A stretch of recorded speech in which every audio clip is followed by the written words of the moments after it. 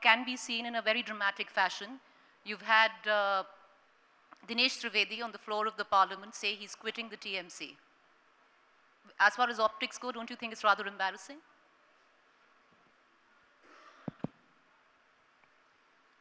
I think it has given us an opportunity to send one real grassroots worker to Rajya Sabha because basically Trinamool Congress represents the grassroots workers.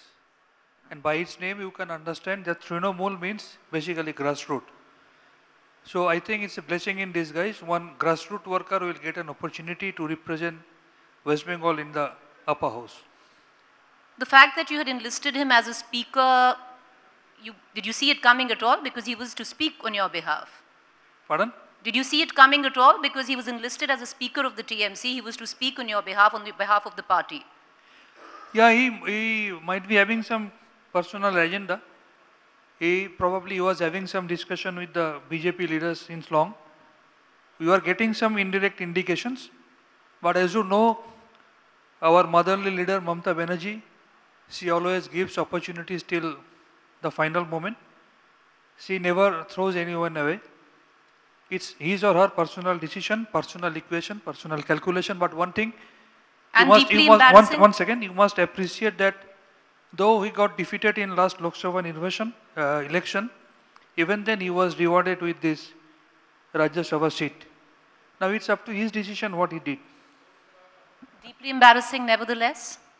I don't believe so. Again, I repeat, So Trinamool on the floor of the House for somebody to say what he did and bow out of your party and say he's leaving? That is his own decision, I, I repeat.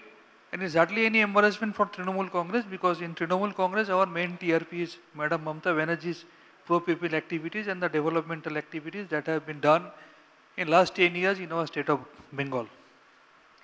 Mr. Swapan Das Gupta, is he joining the Bharatiya Janata Party? Dinesh Trivedi is a very erudite, articulate person, and I'm sure Dinesh Trivedi will chalk out his own future in the most appropriate sort of way.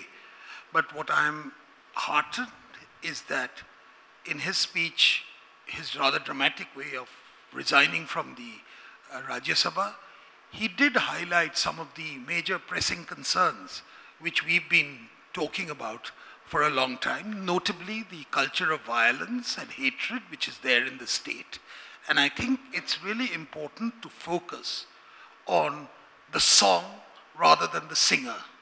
And I think to actually describe Dinesh Trivedi as a rootless wonder, it's more a reflection on the people who promote the rootless wonder rather than anyone else. I'm sure Dinesh Da has his own advantages. He has his own limitations also. We all recognize that.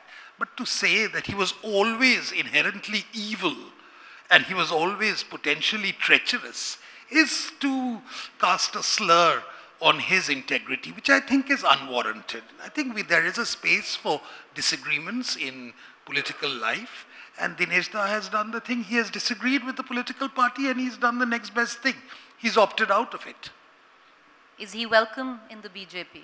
I think everyone who is fighting the good fight is welcome in the BJP.